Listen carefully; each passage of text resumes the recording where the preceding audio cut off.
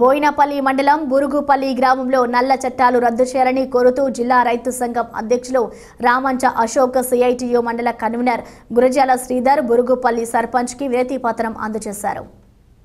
కేంద్రంలో ఉన్న బీజేపీ ప్రభుత్వం రైతులకు వ్యతిరేకంగా మూడు నల్ల చట్టాలు తీసుకురావడం మూలంగా ఢిల్లీ సరిహద్దుల్లో గత ఎనిమిది నెలలుగా రైతులు అనేక దఫాలుగా ఉద్యమం చేస్తుంటే కేంద్ర బీజేపీ ప్రభుత్వం ఆ నల్ల చట్టాల అమలు కొరకై ప్రయత్నం చేస్తుందని ఆగస్టు తొమ్మిది వరకు దేశంలోని ప్రతి గ్రామ ప్రజలను చైతన్యపరుస్తూ తొమ్మిదవ తేదీన ప్రతి మండల కేంద్రాల వద్ద అలాగే జిల్లా కేంద్రాలలో రైతులు కార్మికులు వ్యవసాయ కూలీలు ముఖ్యంగా వినియోగదారులు పాల్గొనే విధంగా ఈ కార్యక్రమాన్ని రైతు సంఘం సిఐటియు అలాగే వ్యవసాయ కార్మిక సంఘం ఆధ్వర్యంలో ప్రతి ఒక్కరూ పాల్గొనే విధంగా పిలుపు ఇవ్వడం జరుగుతుందని సిఐటియు మండల కన్వీనర్ గురజాల శ్రీధర్ అన్నారు.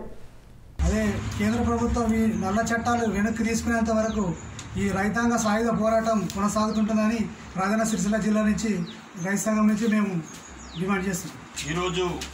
బోయినపల్లి మండలం బూరుపల్లి గ్రామంలో గౌరవనీయులు సర్పంచ్ ఆధ్వర్యంలో రైతులతోటి ఈ కేంద్ర బీజేపీ ప్రభుత్వం కేంద్ర బీజేపీ ప్రభుత్వం తీసుకొచ్చిన న- నల్ల చట్టాలు ఏవైతే ఉన్నాయో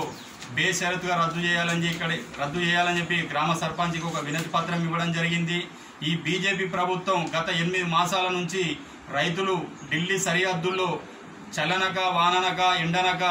దాదాపు ఇప్పటివరకు ఆరు వందల మంది రైతులు ఆత్మ బలిదానం చేసుకుంటే ఈ కేంద్ర బీజేపీ ప్రభుత్వానికి కొద్ది మేము రాజన్న సిరిసిల్ల రైతు సంఘం పక్షాన అలాగే సిఐటి పక్షాన వ్యవసాయ కార్మిక సంఘం పక్క పక్షాన